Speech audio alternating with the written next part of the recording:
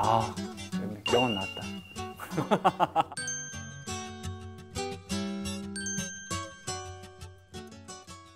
제 골프채인 것 같습니다. 소중한 분이 또 주셔가지고 그 보물 1호처럼 어, 설마 사장님 아닙니다.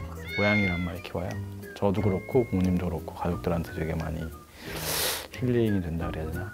반려견이요. 두부가 이제 저한테 가장 기쁨을 주는 보물이고요. 14년도에 처음 와서 저희 집 복덩이라고 엄청 분위기를 밝혀주는 존재입니다. 제 보물 1호는 저요.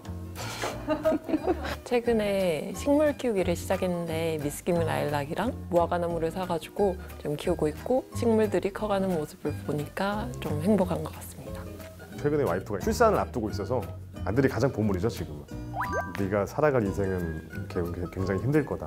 노인 인구가 늘어나고 젊은 층 인구가 줄어들고 있기 때문에 연금도 많이 내야 되고 아마 고생이 많을 것 같습니다. 힘내십시오. 나의 보물 1호는 아내죠. 앞에서 동료가 비웃고 있습니다. 하나 꼽자면 야구 글러브 제가 사회인 야구를 하거든요. 그 글러브에는 박찬호 선수의 사인과 김광현 선수의 사인이 돼 있어요.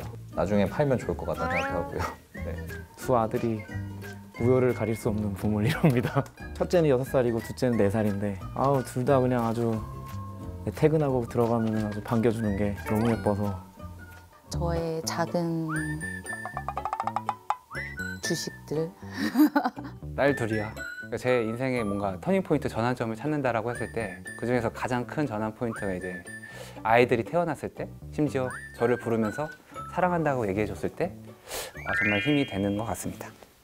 아 나의 보물 1호 마누라는 아니고요 우리 딸 윤서야 요즘 여드름 나면서 조금 개기는 것 같은데 그래도 아빠는 다 이해한단다 건강하게만 자라다오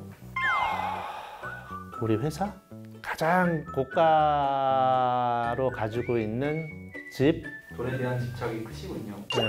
은행 지분도 이제 많이 없어지고 애착이 더 강해지네요.